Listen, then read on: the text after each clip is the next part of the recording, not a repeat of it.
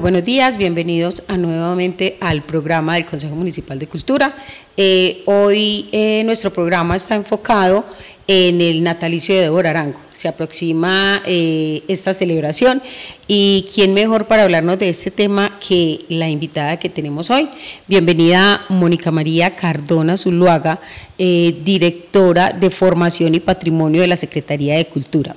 Bienvenida a nuestro programa, Mónica. Muchísimas gracias. Muy buenos días para todos los espectadores que tenemos en estos momentos. Eh, bueno, sí, eh, quiero agradecer esta invitación tan especial y efectivamente les vamos a contar muchísimas actividades que tenemos para estas fiestas y este natalicio de la maestra y artista Débora Arango Pérez. Bueno, antes de continuar el programa, eh, quiero recordarles que este espacio, eh, el programa del Consejo Municipal de Cultura, es un espacio de no solo eh, como algo institucional, es un espacio del Consejo donde estamos con las puertas abiertas para que todos los artistas vengan, nos muestren su trabajo, hablar de cosas que eh, realmente competen a la cultura. Y quién mejor y, qué mejor que tener, no olvidarnos de esos referentes históricos que nos motivan, que nos inspiran y que nos llevan a, hacer todo lo que hacemos hoy, porque eh, es increíble y creería uno que, de pronto estos artistas eh, solo inspiran a pintores y también se da cuenta uno que inspiran una cantidad de cosas maravillosas. Entonces, aprovechando que tenemos hoy acá a Mónica, Mónica nos va a contar un poquito, primero que todo, de quién es Débora Arango. Eh, contarnos, Mónica, quién es Débora Arango, recordarnos. Bueno, muy importante saber quién es Débora. Es una mujer que se dedica desde temprana edad a todo lo que tiene que ver con las artes. Ella empieza su proceso en el colegio La Presentación y allí descubre que tiene arte que le corre por todas sus venas. Entonces ella hace de, de esta actividad parte de su proyecto de vida. Nace con ella, lo va desarrollando en todo su recorrido escolar, académico, y llega un momento en el que ya decide que va a ser pintora y escultora además. Entonces hace pues como todo su trabajo, eh, visita personalidades de acá de, de, Medellín que la empiezan pues como a, a mostrarle todo lo que tiene que ver con la pintura, empieza técnica de mural con el maestro Pedronel Gómez, y se va perfeccionando todo este, digamos, este recorrido que tiene que ver con las artes. Luego va a Europa, allí termina de perfeccionarse mucho más. También está en México, al lado de Frida Kahlo y Diego Rivera. De ellos aprende la técnica del muralismo. Y eso hace que ella eh, empiece como toda su trayectoria. Está llena de conocimientos, de técnicas, y eso permite que cuando llegue acá a, su natal Envigado, empiece pues como su proceso ya de, en su espacio, de proyectar todo lo que tiene que ver con la pintura, permitiéndonos tener una maestra de la talla de Débora Arango, que no solamente es local, sino que es internacional, es un ícono a nivel de la, de la, de la pintura y de la escultura. Bueno, eh, sí, eh, Débora es una artista integral. ¿Por qué integral? Porque no solo pinta, ella, ella es escultora y, y, ahorita más adelante nos vas a contar de, de, la casa, porque quienes no han tenido la fortuna de visitar la casa, les hago la invitación a que lo hagan, porque ahí es donde entiende uno la magnitud de lo que eh, fue Débora Arango, porque toda la casa está impregnada y plasmada de lo de, lo que ella fue como artista. Eh, antes de que entremos en ese tema, quiero que nos cuentes, eh, teniendo en cuenta que se avecina ese natalicio, cuándo es el natalicio, qué hay planeado, qué hay desde cultura, qué actividades se van a realizar desde el municipio para que la comunidad pueda disfrutar este, esta, esta celebración, esta conmemoración. Claro que sí, bueno, les cuento, Débora Arango, el día oficial es mañana, 11. 11 de noviembre es el día de su natalicio, 116 años. ¿Qué ocurre? Nosotros tenemos muchísimas actividades, pero decir que solamente vamos a tener un día con la actividad principal, pues sería muy, muy pobre en cuanto a que tenemos mucho que mostrar de Débora Aranco.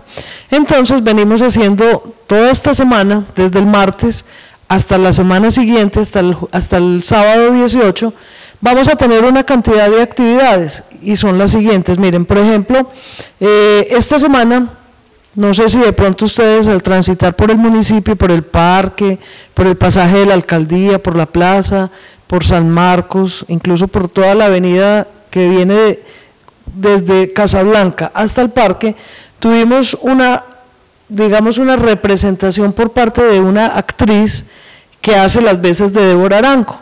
Entonces ella sale y viene con su paleta de colores y cuando viene caminando y alguien está por ahí, se le acerca y le dice, buenos días, eh, permítame presentarme, yo soy Débora Aranco. Y ella inicia contando pues como toda la historia de quién fue Débora, cuál fue lo que ella nos dejó como su legado artístico. Entonces es muy bonito porque muchas de las personas de Envigado, cuando se sientan, por ejemplo, en el parque, hay mucho adulto mayor. Entonces ellos tienen historias de vida porque conocieron a Débora en su mayoría.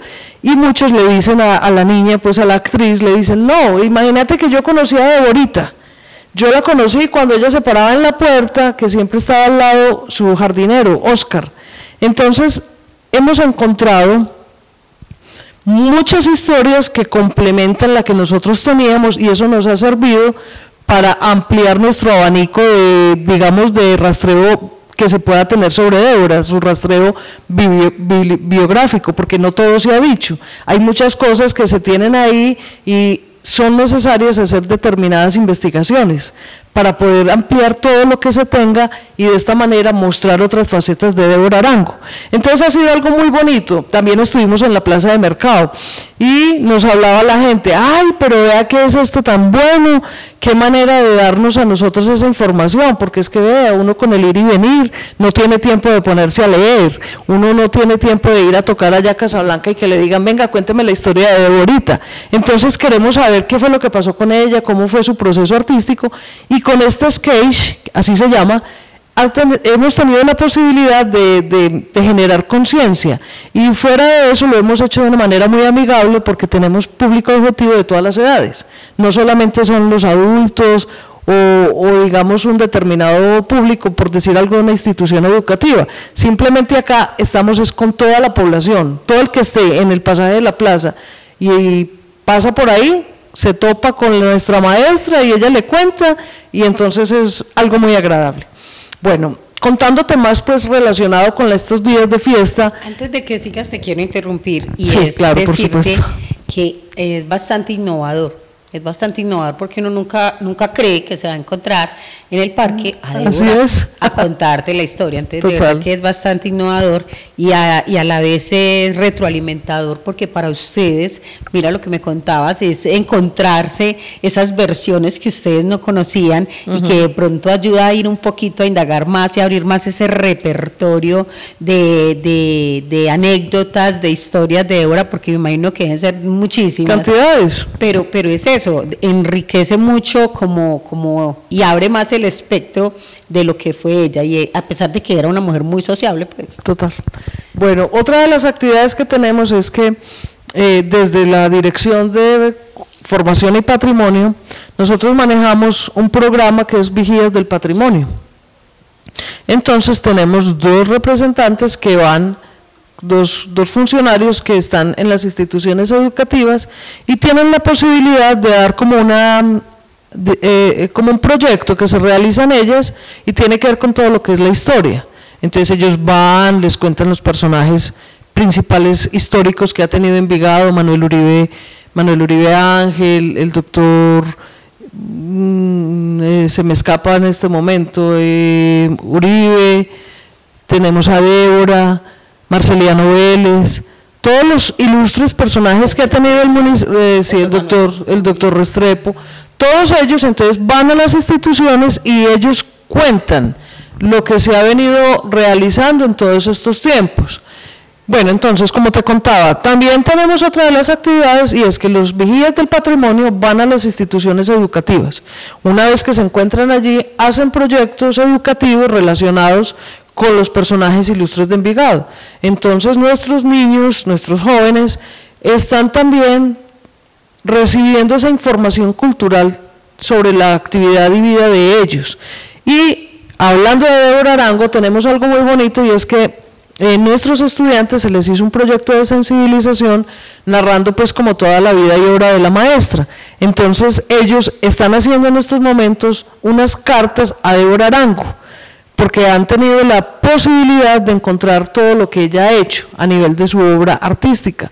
Entonces muchos dicen, ay, qué dicha, yo quiero ser como la maestra, yo también quiero pintar. Entonces eso ha servido de semillero para que estos niños, estos estudiantes, también tengan como proyecto de vida algo relacionado con las artes. Y esta actividad nos pareció muy bonita porque hemos encontrado que ellos hacen unas carticas donde le dicen, maestra, gracias por mostrar el arte, gracias por compartir con nosotros su sabiduría relacionada con la figura humana. Eh, le dicen, yo quisiera también en algún momento de mi vida poder manejar un pincel, hacer esos tonos de colores como usted lo hace. Entonces es una experiencia súper bonita y a su vez esas cartas nosotros las llevamos a Casablanca. Cuando estamos en Casablanca, ya montamos la exposición para que las personas que nos visitan y hagan el recorrido también encuentren algo relacionado con lo que los niños hacen en las instituciones educativas. Y es algo muy bonito. Me parece, me parece bastante interesante y cuando lo contabas me surgía la inquietud. Bueno, y si nosotros como espectadores quisiésemos ver esas cartas, ¿dónde podríamos verlas? Perfecto. Es algo muy importante. Nosotros tenemos en Casablanca unos recorridos Tú me habías preguntado por recorridos, ya voy entonces a entrar en ese, en esa, en esa, te voy a dar esa respuesta. No, pero Mónica, antes de que continuemos con los recorridos, síguenos contando de la programación. Ah, Ahorita ya nos enfocamos en los recorridos. No hay ningún problema. Entonces, miren, con todo lo que tenemos de la programación de, de la maestra de su natalicio, entonces ya tenemos las cartas. También tenemos una exposición allá en Casa Blanca de unas mujeres bordadoras ellas están haciendo su, ellas tienen pues ya montado toda su exposición y nos van a narrar o nos están contando lo que han hecho a través de su bordado. Ustedes saben que cuando uno borda también puede hacer como ese compartir de experiencias o de vida a través del tejido. Y es precisamente lo que las bordadoras nos están expresando. Ellas nos están contando su historia de vida por medio de los tejidos. Algunas tienen unas situaciones, eh, perdón, no económicas, sino sus situaciones a nivel interno en sus familias. Entonces ellas las transcriben, no solamente cuando uno escribe y hace una biografía o deja un legado escrito, está pasando la información. También por medio del tejido, las personas narran su historia de vida y es precisamente lo que tenemos con ellas. Ellas nos están mostrando episodios de su vida que son muy importantes. Entonces eso es muy bonito, porque cuando las personas llegan y ven la exposición, dicen, oh por Dios, ¿qué es esto tan bonito? Poder saber la historia de las personas por medio de un bordado, por medio de, una, de, un, de un nudo. O sea, mucha gente dirá, ah, eso se llama enredar hilos. Hacer crochet, eso es enredar hilos. No, detrás de ese crochet detrás de ese bordado, detrás de esa actividad que hacen estas señoras, hay una historia de vida, porque para ellas puede ser su terapia. Total. Puede ser una actividad que ellas realizan porque quieren mostrarle a la otra persona lo que encuentran ellas, esa satisfacción cuando están haciendo su bordado. Entonces es algo muy bonito. Esa también la tenemos allá en Casablanca. Mira, ahí vuelvo a lo que decía ahora y es eh, la influencia de Débora y no solo en los pintores. Mira, ya también estamos hablando de bordadoras. Así es. Entonces, eh, es simplemente lo que ella transmite y cómo nos conectamos con ella y lo que ella nos transmite después de que oímos su historia, como con las ganas de, que, de lo que quedamos de hacer y, y fuera de eso, que, ese arte, fuera de que están inspiradas en ella, también están soltando cosas y se, y se convierte en una arte terapia para ellas, porque están eh, en cada puntada, en cada, en cada lazada del, del hilo, de la lana o del material que manejen, están plasmando eso, pero también lo están soltando. Bueno, aquí hay algo muy, muy importante, y discúlpame te interrumpo, y es que Débora en sus años de estudiante, había una materia o que se cursaba en, eh, pues en las instituciones educativas y tenía que ver con una electiva y era eh, costura. Entonces eh, Débora no solamente es artista, pintora y escultora, sino que también en su formación tenía principios relacionados con la costura. Y ella también hacía de coser, hacía costura, sabía perfectamente bordar. Y eso es algo que nosotros estamos en ese rastreo que te cuento, también lo estamos empezando a innovar allá, en Casablanca, estamos mostrando otras facetas que también hacen parte de la vida integral de la maestra Débora Arango. Bueno, Mónica, eh, entonces nos contabas que las actividades van hasta el sábado 18. Así es. Eh, aparte de, las exposiciones en la Débora, que nos vamos a encontrar a Débora en el parque, entre San Marcos, el pasaje de la alcaldía y como toda la 43, la, la avenida del poblado. Eh, ¿Qué otras actividades se tienen planeadas? ¿Hay eventos masivos? ¿Qué otras cosas podemos encontrar si estamos desparchaditos y queremos irnos a disfrutar el natalicio de Débora? Bueno, mañana vamos a tener una actividad muy importante que es en el, Honorable Consejo Municipal y es que se va a, a realizar el proyecto de acuerdo por el cual se va a festejar el natalicio de la maestra Débora Arango. Entonces, a las 7 de la mañana, mañana estarán ustedes todos invitados al Honorable Consejo para que participen de este proyecto y se den cuenta lo importante que es para la ciudad tener pues como oficialmente el Día de Débora Arango, festejando pues como todo lo que tiene que ver con su natalicio. Y también vamos a tener un evento en la Plaza de Mercado. Vamos a llevar nuevamente el personaje de Débora, pero aquí hay otra situación y es la siguiente. El primer personaje que hemos tenido con Débora ha sido ella joven, algo así como de 25 o 28 años. El que vamos a tener en la plaza de mercado va a ser una Débora de 45 años aproximadamente, donde ya ha venido con un bagaje artístico mayor. Entonces ella va a estar en la plaza, vamos a llevar unos caballetes, vamos a llevar unos eh, óleos y pintura y vamos a llevar pues como todo lo que tiene que ver con el papel para que Débora en este momento sea la que invite a todas las personas que van recorriendo la plaza a que eh, pinten, para que pinten con ella. Y eso va a ser algo muy bonito, porque no solamente va a estar Débora, no solamente vamos a tener pues como la sección de pintura, sino que vamos a tener también eh, los muchachos, unos jóvenes de la red de escuela de música. Y ellos nos van a acompañar con un instrumental y vamos a tener pues como la, la música que más le gustaba a la maestra entre otras, le gustaba mucho el tango. Entonces vamos a tener unas piezas de tango, allá como una musiquita instrumental para que no solamente se deleiten las personas que van a estar con nosotros, sino los que van a estar almorzando, porque va a ser de 11 a 2 de la tarde, las personas que están almorzando pues también escuchen allá el tanguito y de paso sientan alguna inquietud para saber qué era lo que estábamos festejando. Bueno, entonces esta actividad en la plaza, ya saben, es el próximo viernes 17, una actividad lúdica muy bonita, invitados todos para que de paso conozcan nuestra plaza de mercado y a su vez puedan disfrutar de la actividad relacionada con Débora Aranco. También vamos a tener un recorrido patrimonial.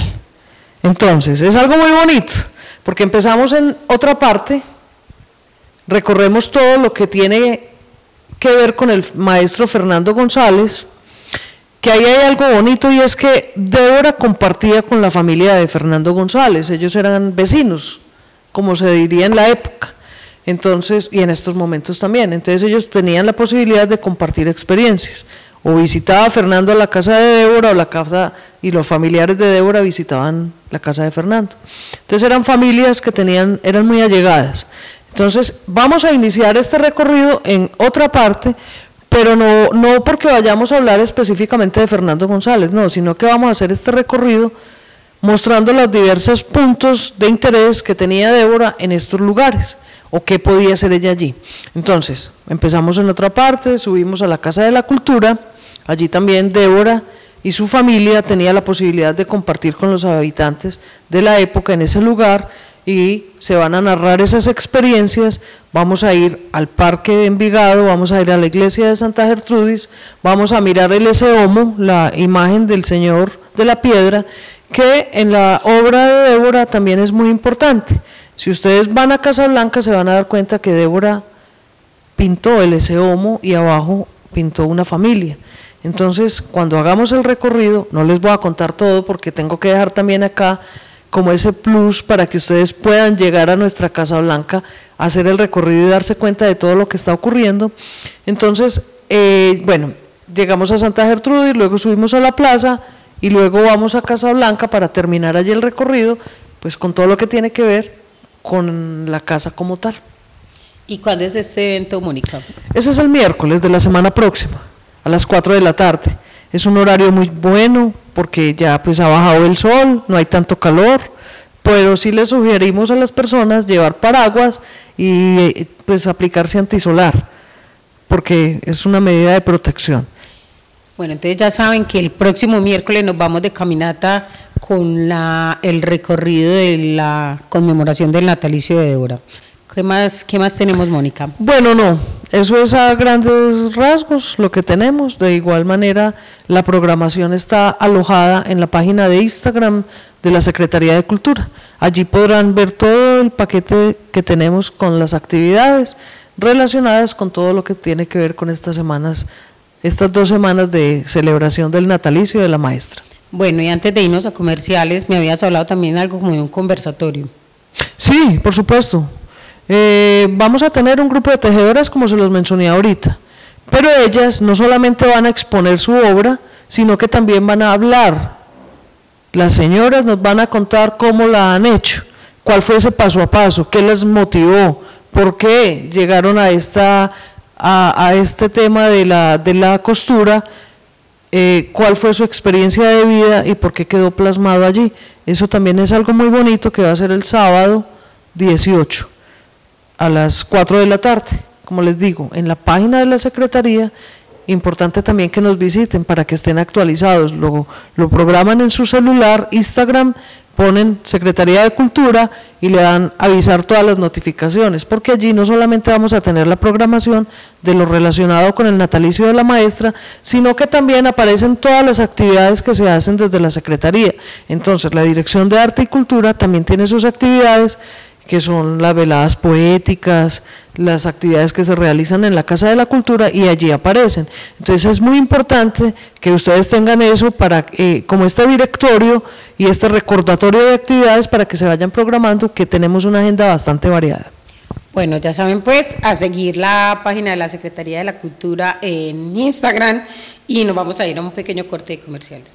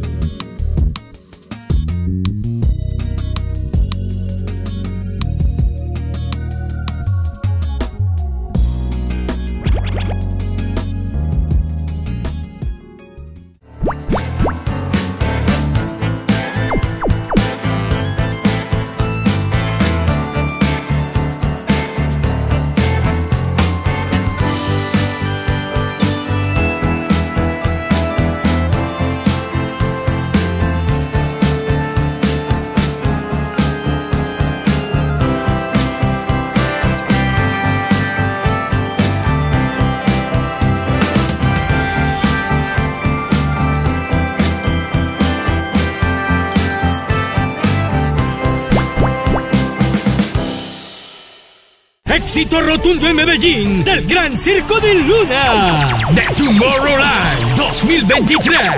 Laserman. El auto Transformer. Lunes a viernes 6 y 8. Sábados, domingos y festivos 4, 6 y 8. Véalo en Ciudad del Río. Parte posterior del Museo de Arte Moderno.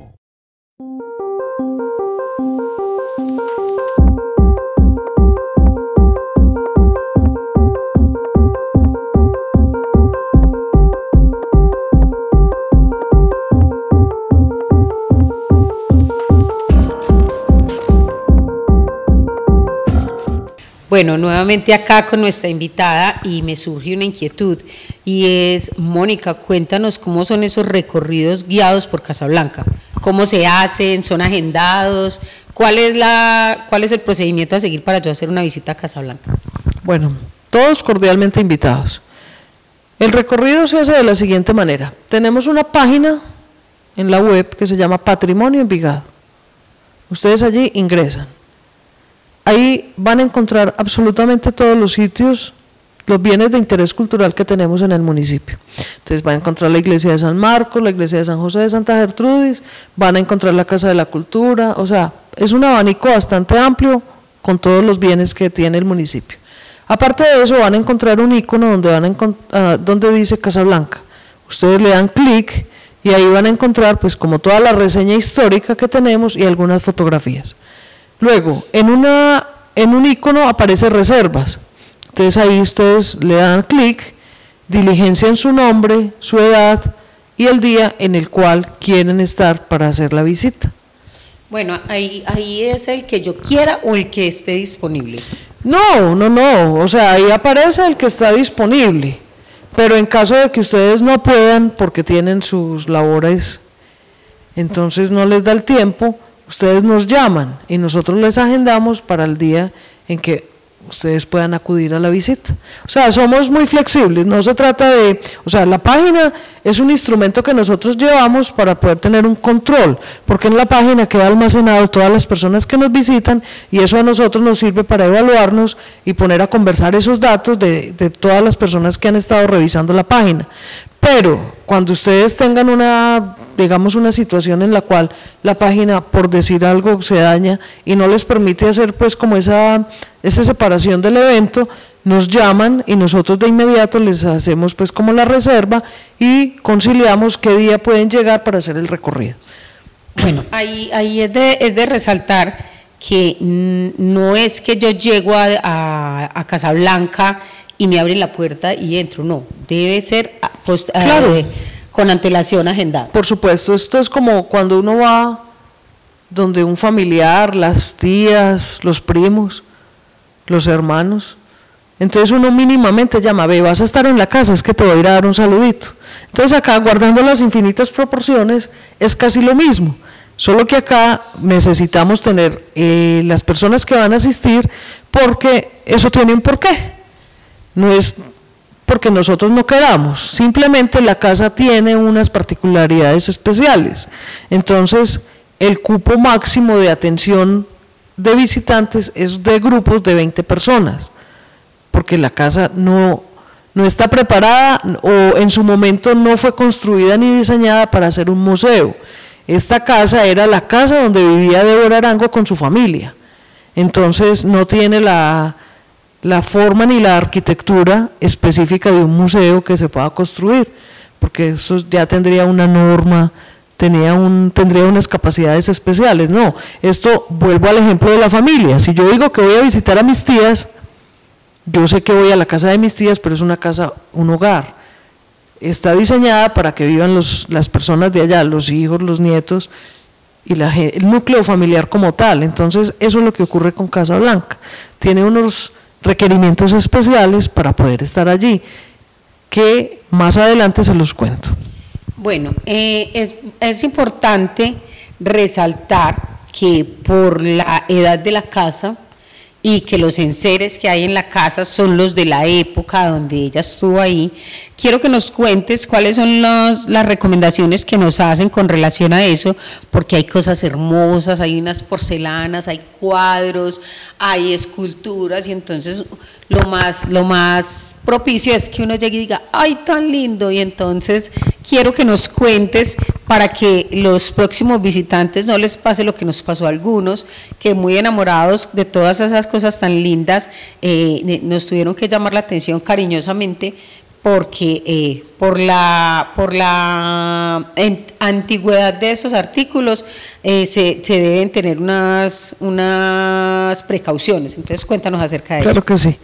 Es por eso que les ponía el ejemplo de, la visita donde las familias, porque estamos acá hilando, estamos tejiendo esta aventura que les estamos compartiendo el día de hoy. Entonces, miren, cuando ustedes ingresan a la casa, primero hacen esa solicitud de reserva. Entonces ya se tiene un grupo consolidado. Sabemos que vamos a tener 20 personas. Entonces, una vez ingresan, lo primero que se debe hacer es dejar el bolso, el morral. Todo lo que uno lleva lo deja en unos lockers, obviamente que están custodiados, allí se dejan, porque la idea es que las personas solamente vayan, pues obviamente con el celular, pero pues para la cuestión de, las, de la fotografía, pero van con su cuerpo tal cual, sin ningún tipo de morral ni maletín.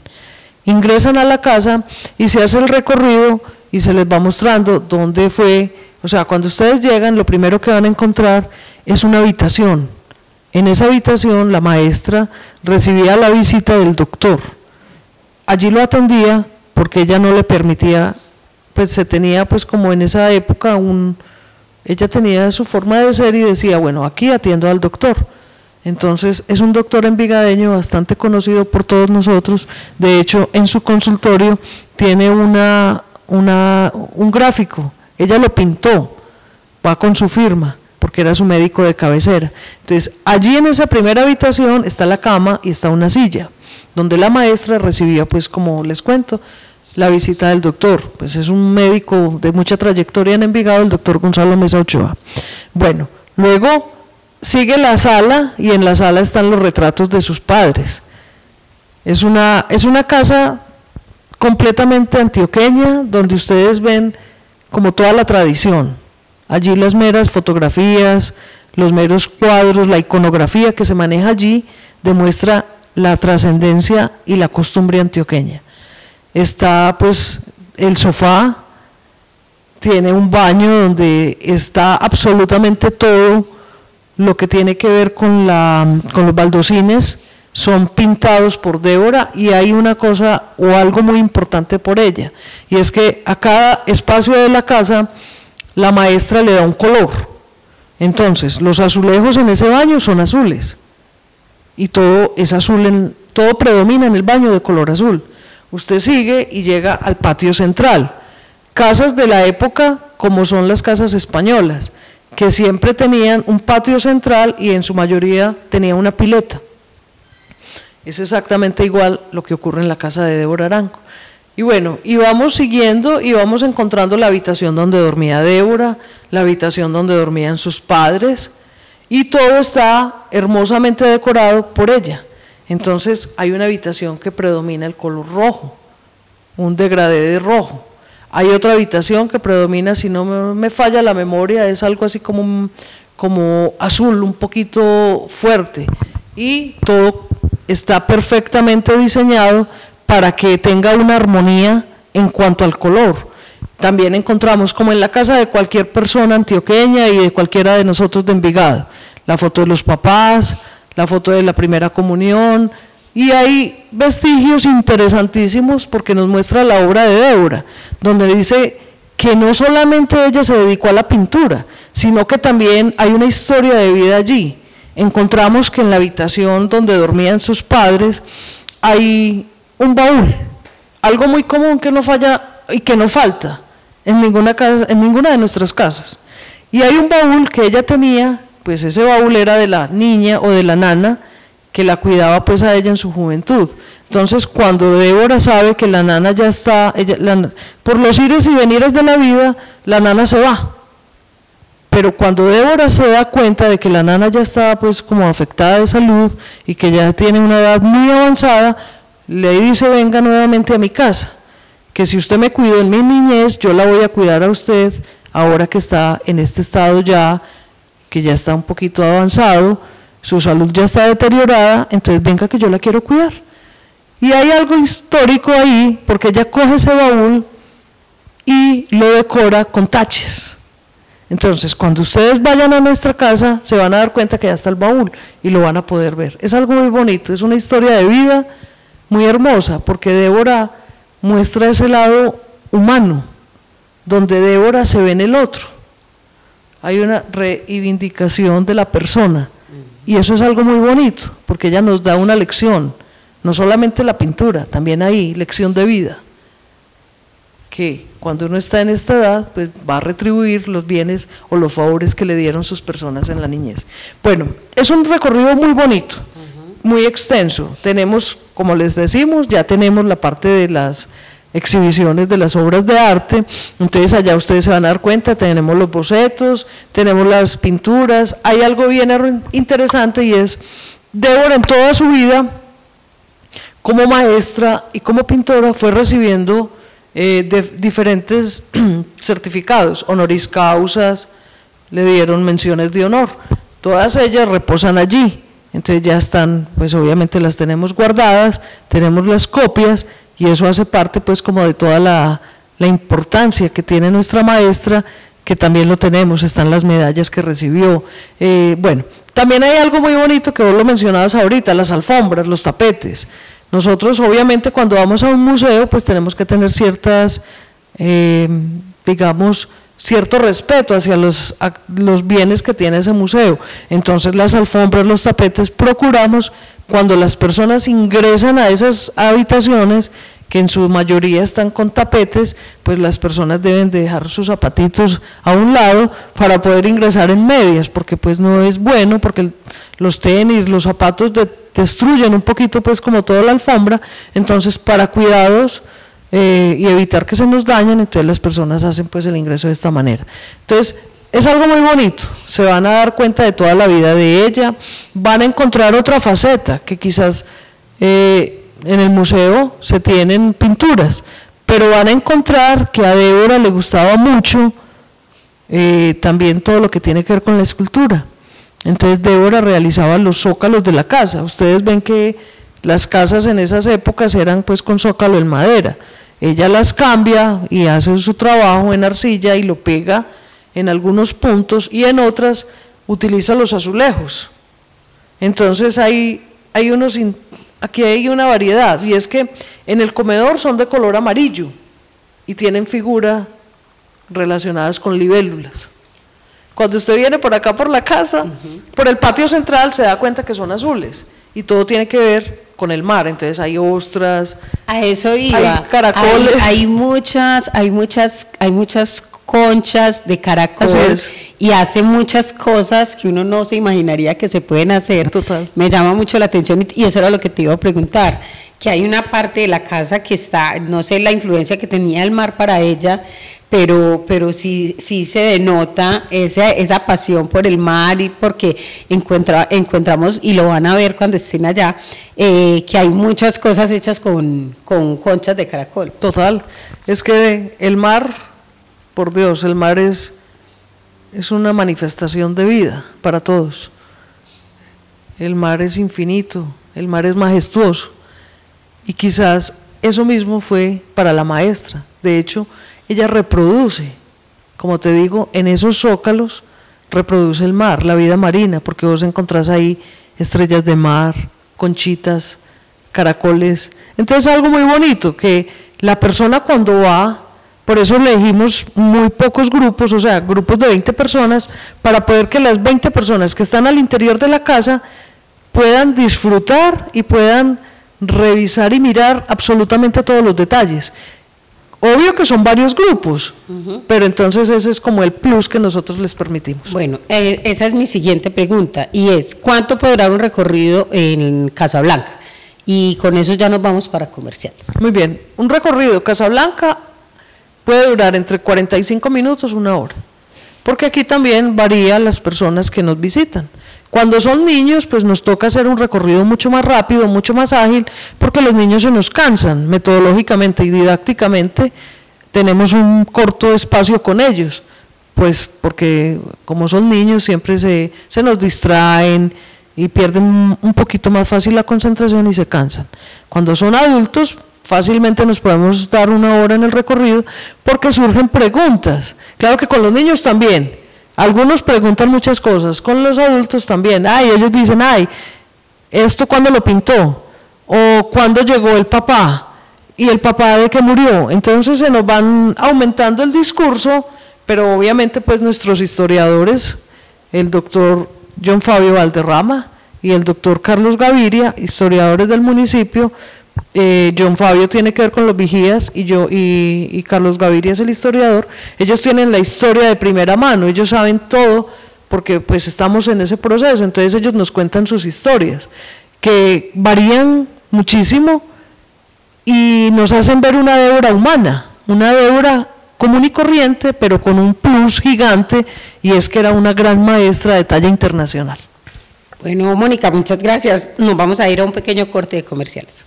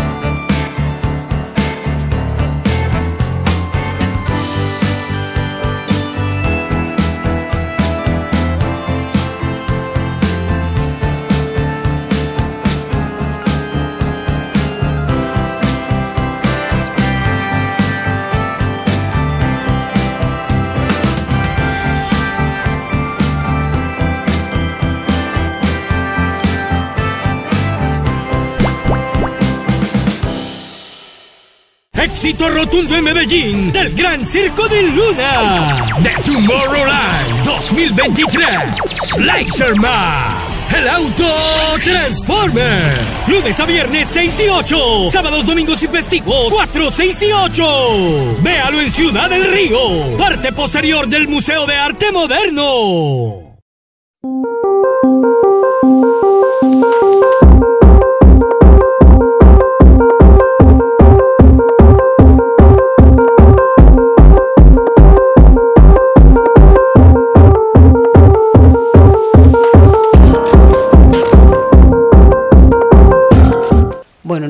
Acá. Ya vamos a nuestro último set del programa. Eh, dentro, de lo que, dentro de lo que hemos conversado por fuera de cámaras, eh, me contabas algo de que Débora también le gustaba la cocina. Cuéntanos un poco de eso. Es algo muy particular. Débora era una mujer aproximadamente de 1,55 de altura, estatura más o menos. Entonces, cuando ustedes llegan a Casa Blanca, se van a dar cuenta de que la cocina el pollito de la cocina es acorde a su altura. Entonces una persona que pueda medir uno con, digamos unos 60, unos 70, ve que el pollo es muy bajito. Alguien cuando llega ya hace la pregunta, venga, ¿y cómo así? ¿Y por qué esto tan bajo? Entonces allí viene y nace la explicación. Pero sí, efectivamente a Débora le gustaba hacer de comer. Hay una historia muy bonita y es que en su época eh, la ensalada rusa, el plato frío que llamamos nosotros de las fiestas, algo muy, muy común y muy tradicional en nuestras fiestas de 15, de primera comunión. Era como el plato fuerte. Y Débora hacía plato frío. Entonces nos cuentan que ese plato de ella era bastante espectacular, porque le ponía un toque artístico al plato. O sea, lo hacía primero con mucho amor para la persona a la cual se lo iba a entregar. Y aparte de eso, lo decoraba de una forma que se veía tan agradable el plato que cuenta la historia que las personas cuando lo veían, oiga, pero qué pesar, qué pesar comerlo es el plato frío, esto como quedó bonito, esto para una obra de arte, porque obviamente ella lo disfrutaba, entonces ponía la mayonesa pues alrededor de las papas, le ponía la zanahoria, le ponía la alberja verde, jugaba con esos colores, entonces claro, como todo entra por los ojos, porque es uno de los sentidos que mayor contacto tiene con el cerebro para poder que la persona disfrute algo, obviamente ella llegaba y conectaba todo eso, ella sabía, porque ella era sensibilidad pura. La, el arte es eso. obra de arte para Total, el arte es sensibilidad. Y eso era lo que Débora nos hacía en esos platos. Transcribía allí toda su, su potencial artística y lo pasaba y lo plasmaba en el plato. Entonces es muy bonito porque cuentan que muchas personas de la Magnolia, de ahí mismo de San Marcos, pues decía, venga, yo miro ese plato frío y, hacían pues con antelación esa solicitud hacia la maestra para que les hiciera el plato frío. Y bueno, qué bueno haber estado en ese tiempo para que nos tocara ver cómo era de hermoso esto. Habernos comido esa hora de ¿Vos te imaginas? ese plato frío debe haber sido una delicia. Bueno, Mónica, ya para ir cerrando el programa, quiero que invites a los envigadeños a participar activamente de esta conmemoración de la, de la maestra. Por supuesto. Miren, es algo muy importante. Débora es nuestra, Débora es Envigado. Débora nace un 11 de noviembre. Recordarles que mañana es el gran día en el Honorable Consejo Municipal donde vamos a tener ese proyecto de acuerdo que resalta el natalicio de la maestra. Y además, pues recordarles que en la página de la Secretaría de Cultura van a encontrar amplia la programación para que se programen y estén ustedes atentos a todos los eventos que vamos a realizar en torno a nuestra maestra. Y no solo eso, sino que también, pues como todas las actividades que se tienen realizadas desde la Secretaría de Cultura. Bueno, Mónica, solo me queda agradecerte por haberme sumergido en el mundo de Débora. Me trasladé, eh, estuve en la casa, hice el recorrido contigo, me vi caminando por la avenida del poblado esperando encontrarme a Débora, me vi almorzando en la plaza, con un buen tango y la maestra ya más madura pintando. Entonces, bienvenidos todos a esta celebración, participemos activamente porque no nos podemos perder nada de esto. Gracias Mónica por estar acá y a ustedes televidentes, muchas gracias por siempre estar eh, viendo nuestro programa. Nos vemos en la próxima. Muchísimas gracias, que estén muy bien.